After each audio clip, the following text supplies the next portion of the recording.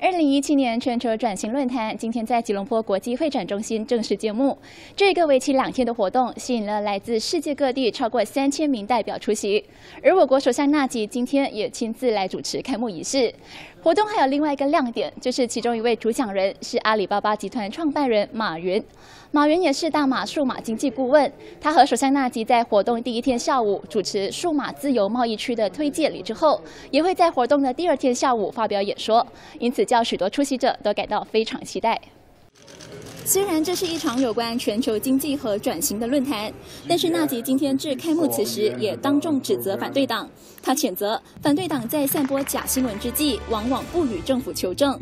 如果大马真的是如反对党所指的濒临破产，沙地阿拉伯还会积极投资我国吗？Many would not expect a former leader to tell lies about his own country.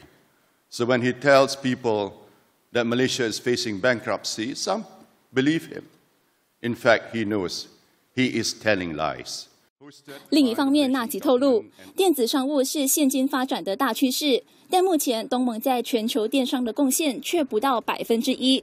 因此，如果我国要与欧美和中国竞争，就必须发展新的重要经济领域，以顺应时代改变和革新。纳吉指出，为了追上电商趋势。政府在二零一七年财政预算案宣布，国内网速将会在今年内提升一倍，宽频服务的收费也必须减半。与此同时，政府也推介国家电子商务路线图，以便在二零二零年之前将我国电子商务成长率从百分之十点八提高至百分之二十点八。NTV 七洪美玲采访报道。